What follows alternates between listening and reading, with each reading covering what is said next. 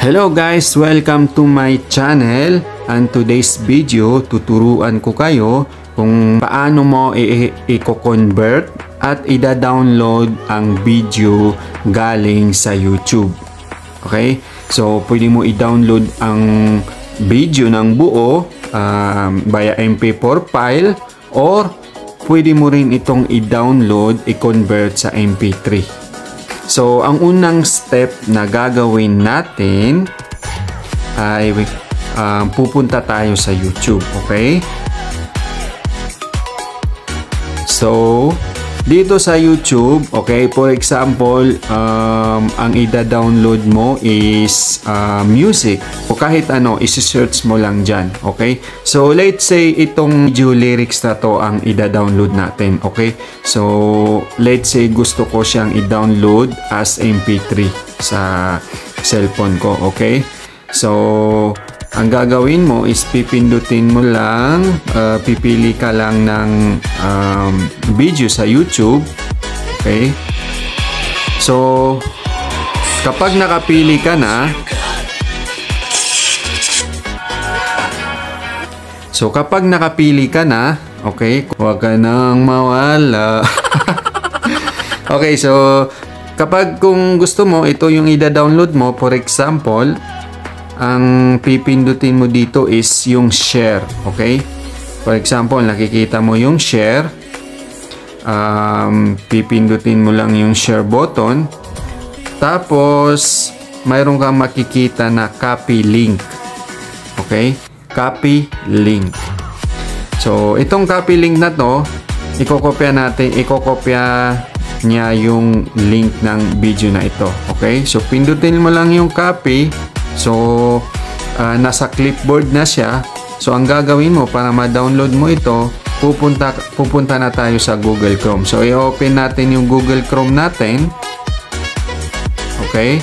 So, dito sa Google Chrome, dito tayo mag-type ng, ang ita-type natin is YouTube, from YouTube to MP3 converter. Okay, so dito maraming website ang makikita mo ang lalabas na pwede mong gamitin. So, ang ginagamit ko is ito, itong nasa first page. Itong ytmp3.nu. So, ito yung ginagamit ko para may download ko yung uh, video at saka para may download ko sa mp3. Okay?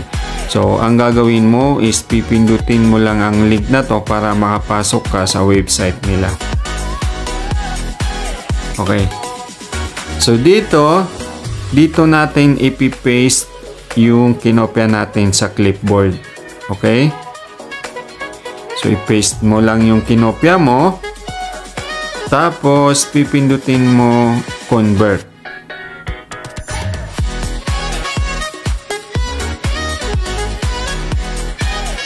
Okay, so dito, mayroon automatic na uh, na-convert niya sa MP3. So, may nakalagay dito na download button. So, ang gagawin mo is pipindutin mo lang yung download button. So, maraming mga uh, ads na lumalabas. So, ang gagawin mo lang is i-close mo lang yung mga ads na yon. For example, yung sa Shopee na open siya automatic so i-close mo lang. So, ayun, nakita nakita mo diyan sa ibaba na na-download na natin yung uh, Jopa, yung MP3 niya. So, ang gagawin mo para ma-confirm mo kung na-download is pupunta ka sa downloads. Okay? So, ando na sa taas. Ito, mayonnaise jopay lyrics MP3. So, nandyan na. Na-download na natin. So, pwede mo na yan uh, makita doon sa music library mo. Dyan sa Android cellphone mo. Okay? So, next naman na gagawin natin is ida-download natin yung um, video lyrics from MP4 na. Okay? So, ida-download lang natin yung buo na may video. Okay? So, paano natin gagawin yun? So, ang gagawin natin, mag-back tayo. So, hahanap tayo dito ng website na nagda-download ng MP4. So, nagko yung nagko-convert ng MP4. Okay? So, ito. Itong website na to, ytgoconverter.com. So, uh, pwede siya mag-download ng MP3 tsaka MP4. So, ito yung piliin natin. So, ang gagawin natin is ipipaste natin ulit yung kinopya natin. Tapos, pindutin ang search button. So, makikita mo, processing siya. So, ida-download natin as MP4. So, pipiliin natin yung MP4. So, maraming lumalabas na ads. So, ang gagawin mo, i-close mo lang.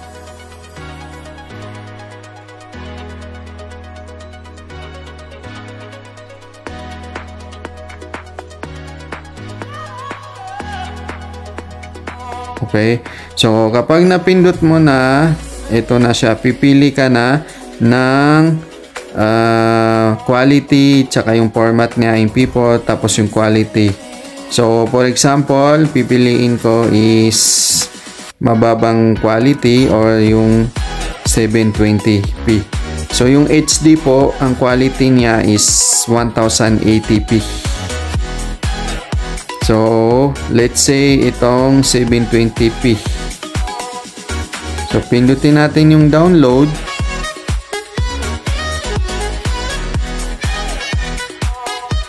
So, ang size niya is 10.15 MB. So, pindutin ulit natin yung download. So, ang ginagawa niya, nagda-download siya. Okay? So, nag-confirm na siya. Uh, sabi dito, sa ibaba, na-download na. So, ang gagawin natin para ma-confirm ulit kung na-download na ba yon pupunta tayo sa downloads. So ayun, na-download na nga yung lyrics, video lyrics. So i-play natin kung gagana ba.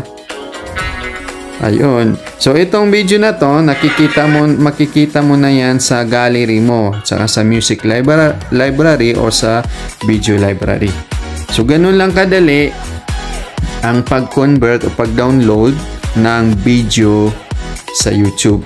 So may mga video na hindi pwede i-convert kasi may mga restricted uh, copyright.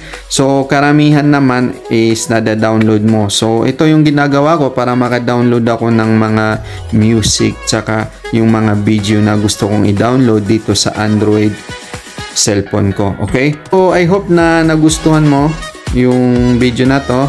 At huwag mo kalimutan mag-like at mag-subscribe dito sa video para sa mga karagdagan pang um, video na gagawin ko in future. So maraming salamat!